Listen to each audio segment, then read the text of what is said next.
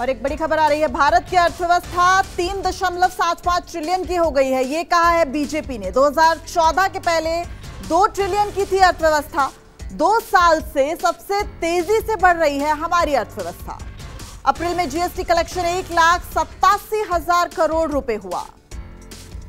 भारत की अर्थव्यवस्था तीन दशमलव सात पाँच ट्रिलियन की हो गई है। ये कहना है बीजेपी का। बीजेपी ने अपनी प्रेस कॉन्फ्रेंस में यह दावा किया है कि दो साल में सबसे तेज़ी से बढ़ी है हमारे देश की अर्थव्यवस्था।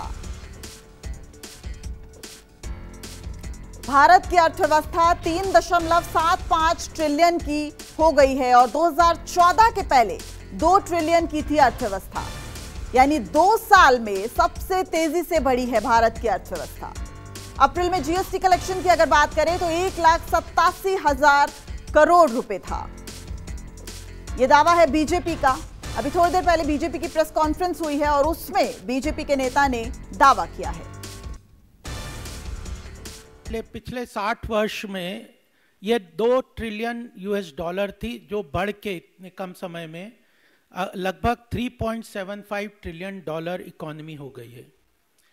और महत्वपूर्ण बात यही नहीं है कि भारत की अर्थव्यवस्था अच्छी चल रही है but for the last two consecutive years ये कंटिन्यूसली विश्व की सबसे तेज गति से बढ़ती हुई अर्थव्यवस्था है, और आने वाले साल में, इस कमिंग ईयर के अंदर भी यह विश्व की सबसे बड़ी अर्थव्यवस्था, तेज गति से बढ़ती हुई अर्थव्यवस्था रहने वाली है, यह स्पष्ट रूप से आती है।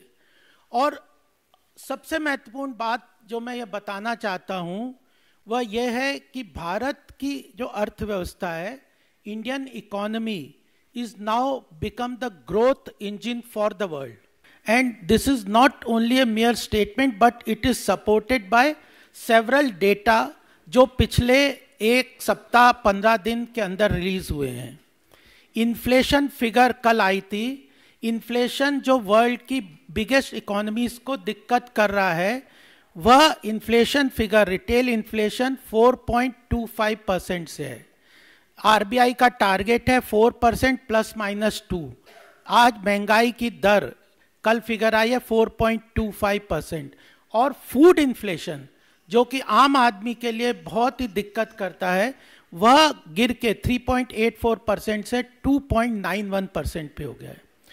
उसके पहले एनएसएसओ का डेटा आया था। इन्फ्लेशन तो एक डेटा है उसके पहले एनएसएसओ का डेटा आया था, जिसमें जीडीपी ग्रोथ रेट को 7.2 परसेंट का इस साल के लिए कहा था। और यह उस वक्त की स्थिति है जब ग्लोबल हेडविंड्स जो कहते हैं इकोनॉमी को ग्लोबली रेस्ट्रेन कर रही है, रोक रही है ग्लोबल इकोनॉमी में रिसेशन है, उस वक्त एनएसएसओ का डेटा आया कि Indian economy growth rate has cross seven percent और उसके पहले कई लोग इस बात में आशंकित थे कि भारत की GDP growth rate seven percent से नीचे आ जाएगी।